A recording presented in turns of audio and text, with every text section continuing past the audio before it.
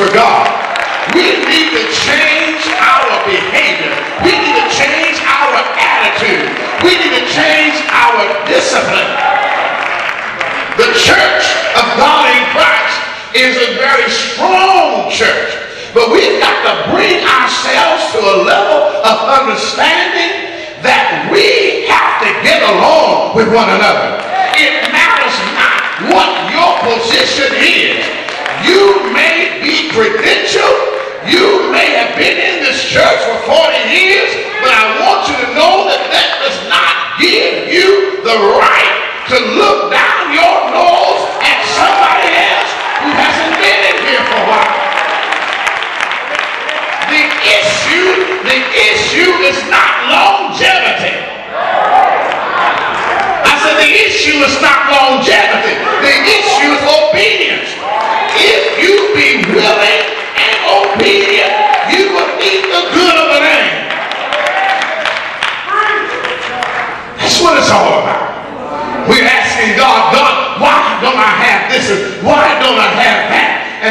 when are you going to do this? And what's wrong, God? Can you not deliver? God is saying to you, I can do anything.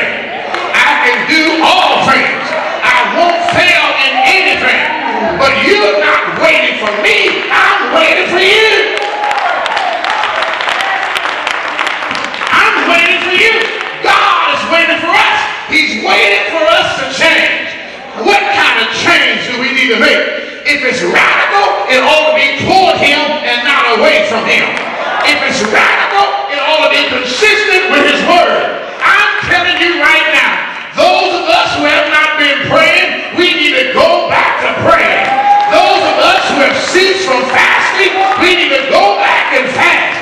Those of us who have problems with folk, we need to get it straight with him.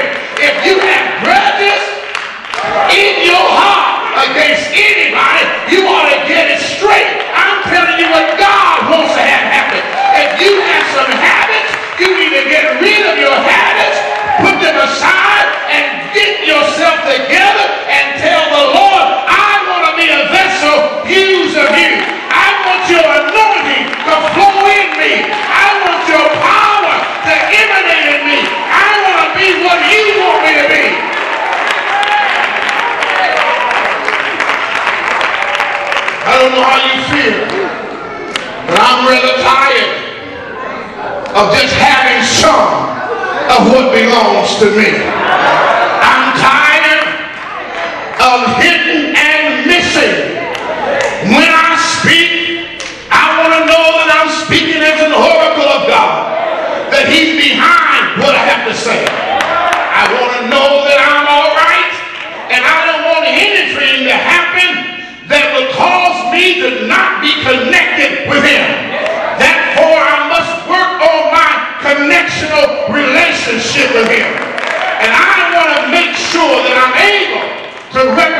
well.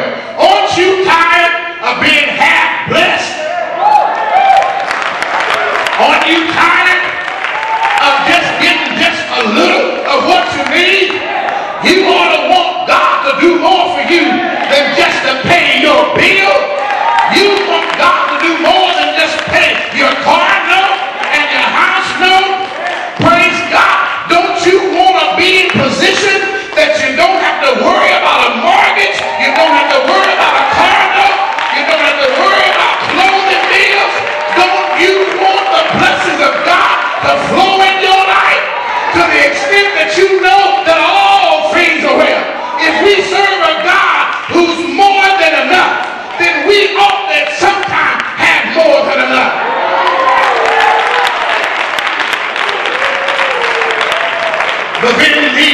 he looks at us and he says, I see where you are. And somebody has been praying. Somebody has been fasting. Sometimes it doesn't take the whole church, although he would that the whole church would do it. But sometimes it just takes the remnant to begin to deal with some things. And then he'll talk to us. And here he says, and I'm closing, I am the Lord,